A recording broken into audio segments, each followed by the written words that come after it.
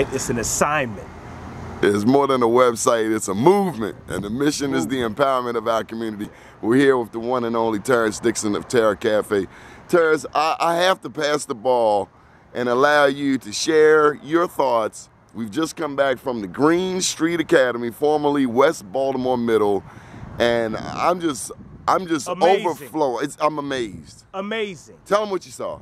I saw basically a confirmation that so many folks that have been out here speaking about the quality of education for our kids, that the city needs to do better, that they have to do better, and that they can do better. We've seen it come to fruition today. Somebody's been Uh, failing us and lying to us. They've been lying. the experts are not experts slapping at all us. because They've been stealing. They've been stealing from our kids. And when you steal from our kids, you steal from our community. What do you mean they've been stealing? They've been stealing. Holding the back, education holding out.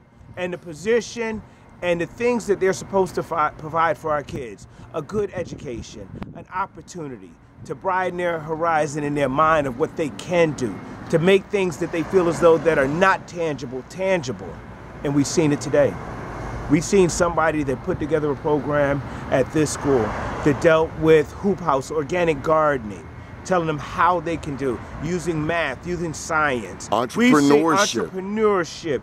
We've seen them raising tilapia in the basement that will go out and be sold to restaurants. Once again, just just sharing with our kids the, the different things that they can do in life. Why did I leave there with the impression that somebody's been holding out on our young people? Someone has been pretending to know about what our young people need. And, and I'm talking about black elected officials Black elected as well as white ones. Somebody's Exactly. been lying to the people of Baltimore. Well, you, you know what? When you leave there, you have a feeling that you know what, Baltimore City school system has basically been building our kids for their system, and this was You mean prison system? prison system. Put the whole word out there, prison system. Prison industrial complex? Exactly. Whether or not they get them when they're young or whether or not they get them when they're a little bit older. All right. But we've seen today that what happens when you build a system for the kids, all right, the way it should be. Adapt to what our kids need today. Give them a vision. Give them dreams. You know, went in there and, and young kids are saying, I asked the question, I said, what college you going to? Morgan. What college you going to? Morgan. What college you going? John Hopkins. All right, they had an idea, and this is coming from middle school kids, that they have the aspirations that they want to be better today. All right, not at the last. I'm going to have to go back to that school through. and put some of my time in there, man. I'm so inspired by the young, the young people and, and, and young boys Young talking boys. about college. powerful.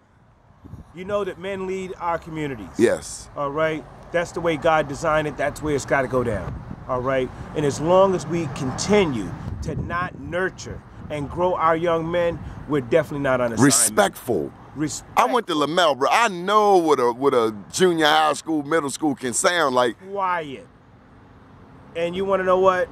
Kids will be kids. As we were leaving, one of the things that I seen, I seen three young brothers run around the corner with kids play.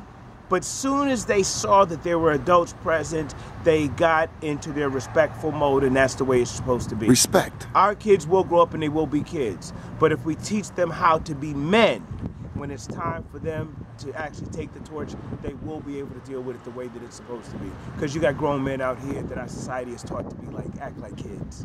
All right? It's time to take our community back. And as this election year comes around, all right, as you hear more about politicians doing things and not doing things, get involved. All right, they work for us, we don't work for them. And somebody has not passed that email around. All right, They work for they're, us. They're civil servants, mm-hmm. not politicians. Certainly not lifelong. Not at all. Pass the ball. Pass the ball. The one and only Terence Dixon. Keep watching BMoreNews.com, the news before the news, where we uncover the truth.